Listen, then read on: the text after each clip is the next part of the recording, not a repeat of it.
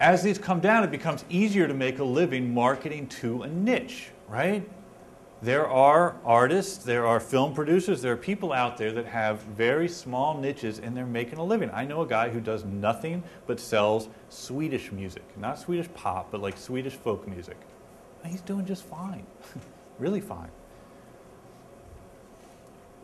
So, and again, this is kind of dated, um, but this is a real good example of something that was marketed to a niche and has blown up. What's a better example of a film that did this recently?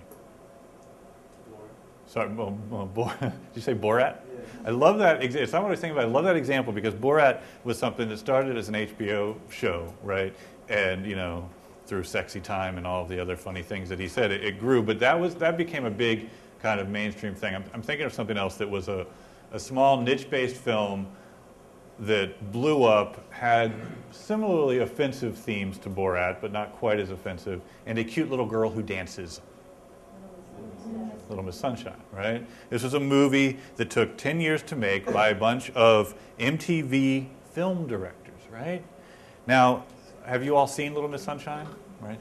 So, do you think that these people were psyched to be directors for videos that were shown on MTV?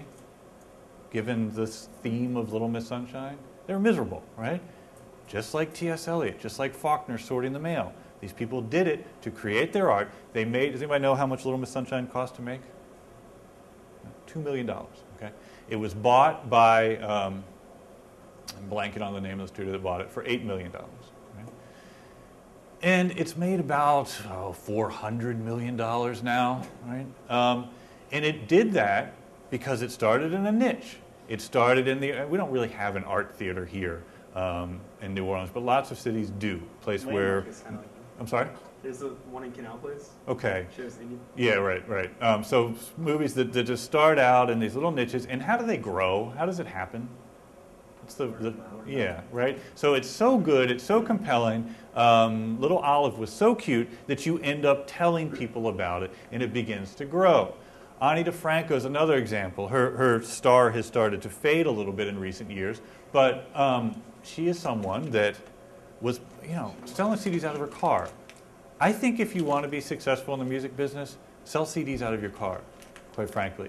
I don't know anyone who's been successful in the music business who has not at one point or another sold CDs out of their car. From Chris Blackwell to you know every hip hop artist to Ani DiFranco, right? And what they're doing is they're selling to niches. They're going, they're playing shows, and then they're opening their trunk, literally or figuratively, and selling CDs right out of there. Why? Because they're connecting emotionally and directly with their customers, giving them word of mouth, and making it actionable for their customer to go when they go home and want to show it to other people, right? This was sold out of the trunk, right? Little Miss Sunshine was sold out of a trunk. Ani DiFranco sold stuff out of the trunk. This is the best photo I could find to represent Bollywood, all right? And the reason I put it up there um, was because anybody know what Bollywood is? You all know now because of Richard Gere, right? Um, uh, crazy thing that is. Um, anyway, so Bollywood is, is the Indian version of Hollywood, except for they make about 6,000 movies a year, and they're all very strange. My wife loves them for some reason. She has made me suffer through exactly one of them, and then I refuse to never watch any more of them. But some people really like it, right? So Netflix started their, their service. And someone got the bright idea to say, well, why don't we make some, some Bollywood movies available for, for rent, for people to put in their queue? Not knowing what it would be, not knowing, um, there's some burned out lights going on. Lord only knows what else is going to come up. With. Um, not knowing how many people would be interested in something like this. And in the first month, 100,000 people rented Bollywood movies. Now, my wife was responsible for probably three or four of those movies, but, you know, it's, it's hard to believe that there are 100,000 other people out there like my wife. Um, it's both scary and good, I guess. But anyway, the, the point is, is that these are all niches, right? And sometimes these niches start to explode. Now, poor Jon Heder, or whatever his name is, his little niche is about to collapse around him, right? Ani DiFranco is always going to be Ani DiFranco. She's got a niche. There are always going to be girls coming up and guys coming up through high school that kind of want to hear that stuff in the same way kids want to hear Dark Side of the Moon, right? It, it begins to be a psychographic thing. There are millions of Indians living in this country now. And there are millions of nuts who like Bollywood even though they're not Indian, right? So you find those niches and you start to be able to be sustain to sustain them. The thing that makes it possible is that we can now connect directly, right? Little Miss Sunshine gets out into the world via these art theaters and then gets out via DVD rentals. I've already made one Big Lebowski reference, I'll make another one, right? Everyone here has seen that movie, right? Everyone. Anybody see it in the theaters? Any, you did? Good for you, man.